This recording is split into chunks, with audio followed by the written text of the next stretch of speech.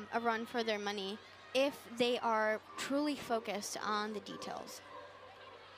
That entails landings, legs, toes, sharpness. All of that is going to come into play when it goes down to the final score.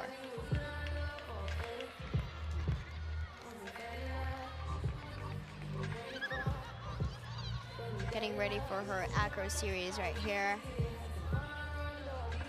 Unique front toss to a back handspring, absolutely nailed. She's looking poised. Poised is the word of the night.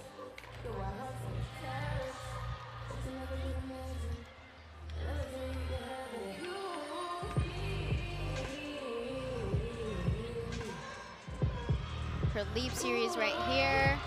No questions for the judges. And she gets ready for her dismount. She is the right icebreaker for this lineup, and I'll continue to say that as long as she is not a college gymnast anymore. You can see